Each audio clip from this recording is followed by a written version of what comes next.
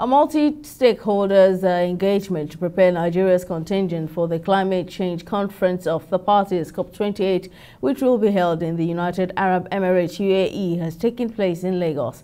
Speaking with TV360 Nigeria, the executive director of the Center for 21st Century Issues, Titilope Akosa, says the interaction is intended to raise awareness among stakeholders who will be attending the summit in Dubai, where heads of government, development agencies and civil society groups will be taking climate action decisions. In Africa, we are experiencing a lot of uh, impacts of climate change, from flooding to different devastation, um, droughts, and so many other um, printable things. So it's very important that they know that there is a fund that can help us to recover from all these disasters.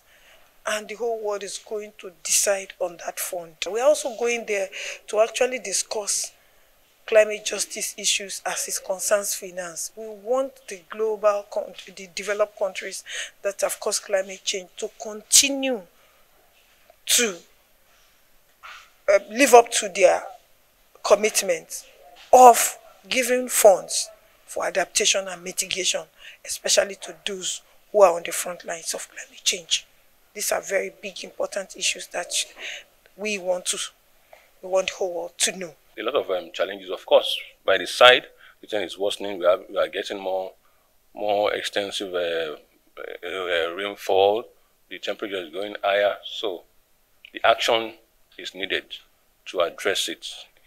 And it's been addressed in two, two ways. Mitigation is to try and reduce the temperature, you know, and reduce the carbon that you are releasing to the uh, atmosphere. And adaptation is to adapt to the situation, you know, try and come up with um, different strategies to adapt to the present situation.